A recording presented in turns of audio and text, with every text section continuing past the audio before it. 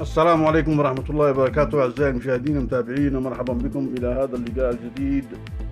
وأسعد الله بالخير أوقاتكم. الحوثي يكشف عن مرحلة خامسة وسادسة من التصعيد دعما لغزة. وإلى التفاصيل.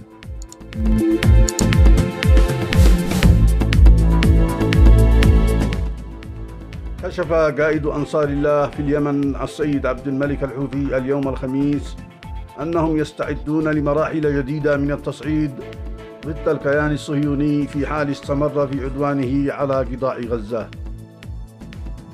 وقال الحوثي في كلمة متلفزة له اليوم الخميس إنه من الآن نحن نفكر أيضا في المرحلة الخامسة والمرحلة السادسة ولدينا خيارات مهمة جدا وحساسة ومؤثرة على الأعداء موضحا أنه ليس هناك بالنسبة لنا أي خطوط حمراء يمكن أن تعيقنا عن تنفيذ عملياتنا. وتابع نفكر ونسعى عمليا للمرحلة الخامسة وسقفنا في المرحلة الرابعة سيقوى إن شاء الله وسيحظى بالزخم تدريجيا. ولفت قائد الأنصار إلى أن لديهم خيارات استراتيجية حساسة مهمة ومؤثرة على العدو. وبمعونة الله وتأييده نصل إليها. مؤكدا أنه ليس هناك حسابات سياسية تؤثر علينا في مستوى موقفنا ولسنا ممن يخضع تحت عنوان المصلحة لمؤثرات الترغيب أو الترهيب.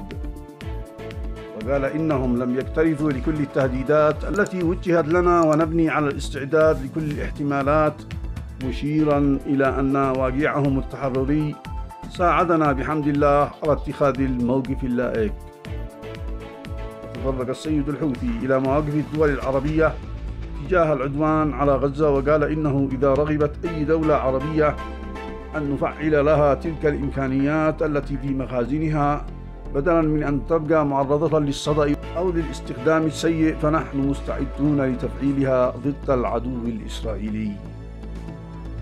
وأشاد قائد الأنصار بموقف الدول العربية التي لم توافق الأمريكية على استخدام أراضيها في الاستهداف لبلدنا. أشكركم على حسن المتابعة والإصغاء ولا تنسوا الإعجاب والتعليق على الفيديو والاشتراك في القناة وتفعيل جرس التنبيهات.